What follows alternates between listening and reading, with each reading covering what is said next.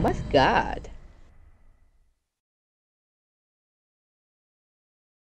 Oh my god guys, welcome to today's video in which we're going to be learning how to identify if a relation is a function or not using arrow diagrams. We're going to be taking a look at some examples and we're going to be taking a look at two basic definitions. So what is a relation, what is a function, and what actually tells us if a function is really a function. Okay guys, so let's begin. So guys, as I was telling you, the first thing we're going to be taking a look at is the definition of a relation. So a relation is basically any set of ordered pairs. So what does that mean, guys? So basically, if we have values of x and values of y, it doesn't really matter what values of x and what values of y we have. If we have values for x and y in sets or pairs, we say, or we can say that this is going to be a relation. So basically, any set of ordered pairs is a relation. So guys, with that into account, the question rises. How do I know if a set of ordered pairs, so a relation, is actually a function? We have to take a look at the definition of a function. So a function, we know that a relation is a function when each input or each value of x is assigned exactly one output or one value of y. We have to remember that x is going to be our independent variable and that y is going to be our dependent variable. Most people forget that, so you have to note, take that into account. Also, you have to remember that the definition says that a relation is a function with, when each input or value of x is assigned exactly one output. That means that we can just have one value one specific value of y for each and every one of the x's. If we have two values of x, that means that we are not talking about a function, right? So again, guys, that means that in an arrow diagram, which we're going to be seeing, there should be no repeated values for x, right? Now, let's tackle a problem, guys. So guys, here we have the following example. And we can see that this is a set of ordered pairs. So we have minus 1 gives us a value of 10, 3 gives us a value of 61, 6 also gives us a value of 61, and 10 gives us a value of 92. So this is in fact a relation because it's a set of ordered pairs.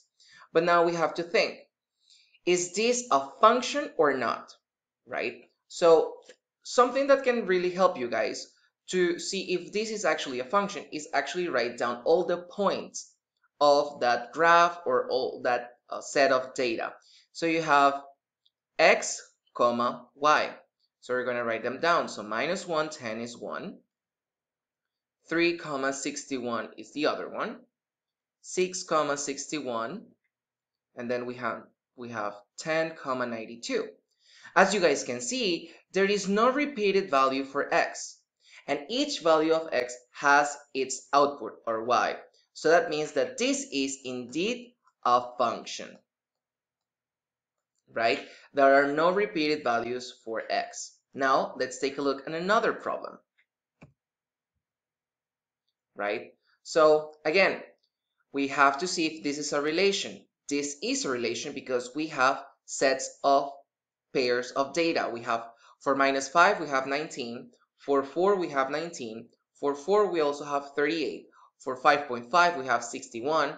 For 10, we have both 38, and for 10, we also have 92. So we have pairs, right? So in this case, we're also talking about a relation. Now, we have to ask ourselves whether it's a function or not, right? So we have to do the same thing. We write down x and y, and we have to see if there are repeated values for, for x, right? So in this case, at a glance, we, we have 5 and 5 has one value of y, which is 19. But we see that 4 has two values of y. So 4 has 19 and 38. Also, 10 has two values of y. 10 has 38 and 92.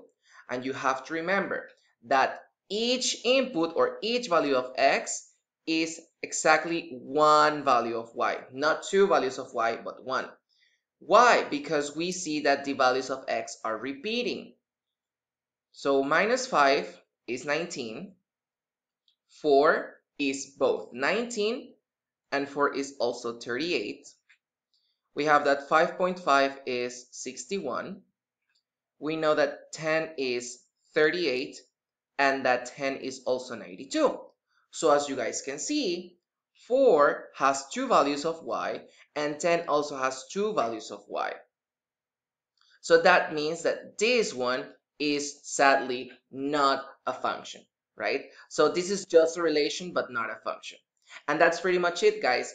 The arrow diagrams really help you understand whether it's a function or not because if you see that one value of x has two y's, then that is not going to be a function. Or you can do what we did right here and you can write down all the points. And if you see that one point has a value of x and another point has that same value of x, that means that the x's are repeating and that x has more than one value of y, right? It's more visual, but you can either do it directly with the arrow diagrams or you can see it with the points right here. So basically that's it for today guys. So I hope you guys understood. Make sure you copy everything and practice a lot and I'll see you guys on the next one. Bye everyone. Check out these other videos to improve your math skills and make sure you click that subscribe button to make the community grow. Follow OhMathGad in its social media accounts, drop a like, a comment below, and see you on the next one. Bye!